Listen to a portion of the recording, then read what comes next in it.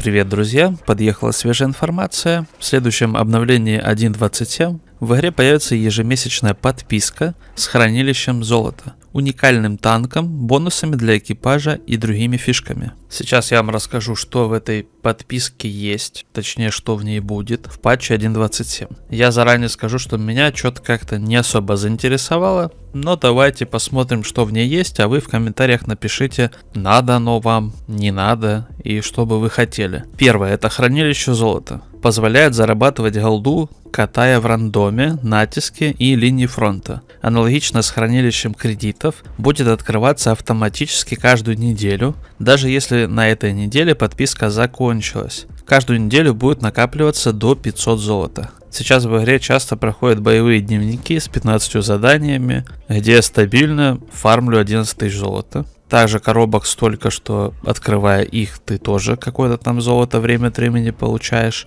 И в целом как-то особо недостатка золота у меня лично нет. Но это приятный бонус, если там есть что-то еще интересное. Лишнее золото не будет, его всегда есть куда потратить. Поэтому это такое, типа, это скорее для тех, у кого золота на аккаунте мало. Я думаю, что такие тоже имеются в достаточном количестве. Но чтобы это золото получать, нужно играть. То есть, если вы редко играете, то вы, наверное, не набьете 500 золота за неделю. То есть, это плюшка для тех, кто много играет и у кого нет золота. Если вы мало играете, вы, наверное, не будете получать 500 золота в неделю. Если у вас много золота, то оно вас не сильно заинтересует. То есть здесь уже есть моменты, где вы можете не попасть, и это может вас не заинтересовать. Следующее. Ускоренное обучение экипажа для одной выбранной тачки.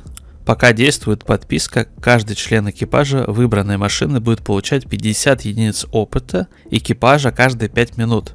Причем независимо от того, находится игрок онлайн или нет. Обещают акции, по которым каждый член экипажа будет получать 100 очков опыта каждые 5 минут. Грубо говоря, вы в эту подписку заходите, выбираете там экипаж какого-то танка, он, видимо, должен сидеть в танчике, и они будут качаться, даже если вы просто Alt F4 нажмете потом и уйдете по своим делам, а экипаж качается. Опять же, для кого это? Для тех, у кого есть экипажи, которые нужно покачать. Но Наверное, есть люди, у которых и экипажи в основном прокачанные, вот допустим, как у меня. Но при этом при всем, все равно найдется танчик, где перков мало, можно что-то подкачать. То есть эта плюшка в принципе-то пойдет. Всегда есть экипаж, который можно подкачать. Или выйдет новая ветка, но сначала нужно еще выкачать, видимо, танчик, чтобы начать там экипаж качать. Было бы удобно, чтобы ты заранее мог уже начать качать экипаж на какой-то танк. В принципе, вот пока первые два пункта они вроде неплохие, но я бы не сказал, что в них прям есть очень большая необходимость. Некоторым чуть больше это понравится, некоторым чуть меньше, но прям какого-то чего-то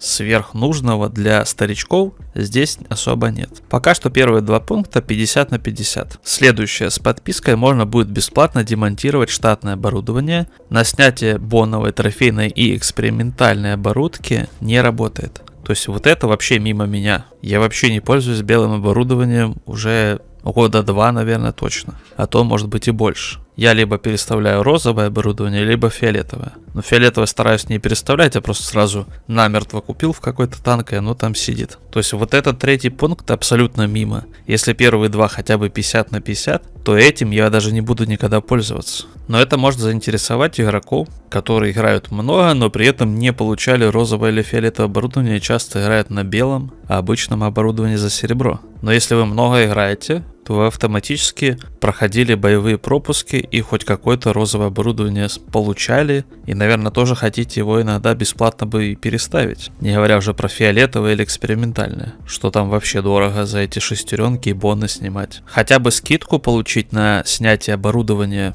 розового, фиолетового и экспериментального, тогда да, а так пока это что-то мимо. Улучшенные награды за выполнение ежедневных боевых задач. Я, честно говоря, не сильно на них внимание обращаю, но что-то там выпадает интересное. Я задания не читаю, награды тоже не смотрю, что-то там сыпется и сыпется. Не исключаю, что даже что-то там полезное есть. Особенно прикольно, что когда выходит новая ветка, если ее не начинать качать, а просто дальше играть в игру, то все чертежи, которые падают, они падают на новую ветку, и новые танки могут автоматически прокачаться. Меня больше всего интересует, будут ли в улучшенных наградах больше чертежей. Остальные награды, ну плюс мусор, ну и ладно. И непонятно насколько, что там улучшится, пока только такая поверхностная информация. Следующий бонус к доходности для всей команды, если в команде есть игрок с подпиской. Каждый игрок с подпиской в команде игрока увеличивает доход на 1% но не более чем на 10%. То есть получается у нас 15 игроков в команде,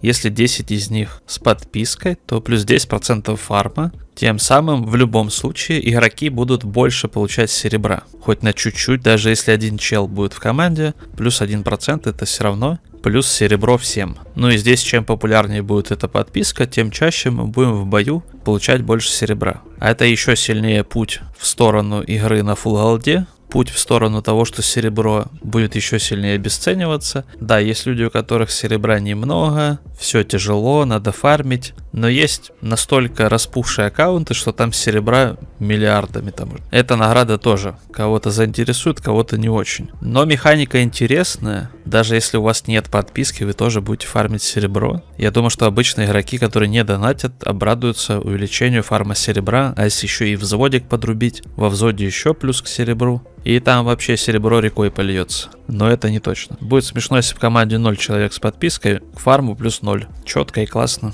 И последнее, наверное, самое интересное. По подписке будет доступен уникальный танк на все время действия подписки.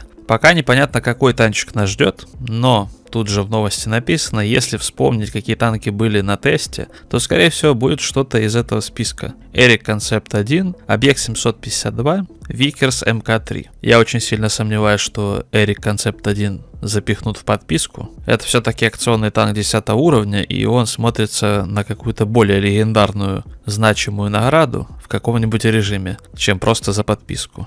Но если его сюда запихнуть, я думаю, подписку захотят многие, поскольку танк уникальный и жесткий. Ну, по крайней мере, был. К релизу могут его превратить и в кактус. Также еще неплохо здесь смотрится Vickers MK-3. Это интересный британский премтанк 8 уровня, насколько я помню. Мне кажется, он сюда смотрится лучше всего. Ну есть еще полным-полно старых танков, которые тоже сюда могут припихнуть, которые еще нигде не использовали. Ну вот, посмотрели мы на все вот эти вот бонусы, которые дает подписка. Непонятно, сколько она будет стоить, за что ее можно будет брать. И можете написать в комментариях, как вам все плюшки, которые в ней есть. Я уже выскажу свое мнение, что половина плюшек как-то 50 на 50, некоторые абсолютно мимо, а некоторые будут работать даже если я не куплю платную подписку. Но в команде кто-то с ней будет катать. И что-то пока как-то заинтересованность слабая, честно скажу. Единственное, что захочется получить танчик, если он интересный. Покататься на нем, наиграться, получить три отметки, а потом зачем продлевать подписку? Вопрос интересный. Справедливые вопросы, которые могут возникнуть. Где третий слот в черном списке карт? Я знаю, что ответят разработчики. Черный список карт портит балансировщик. Но, на мой взгляд, балансировщик мертвый. Какая разница, где его похоронят? На метр ниже или выше?